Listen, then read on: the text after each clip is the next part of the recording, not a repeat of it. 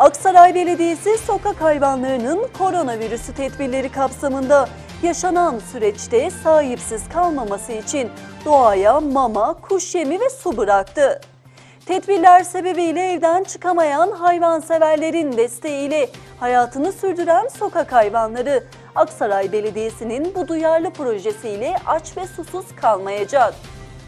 Aksaray Belediyesi tarafından yapılan bu duyarlı çalışma hayvanseverler tarafından takdir ile karşılandı.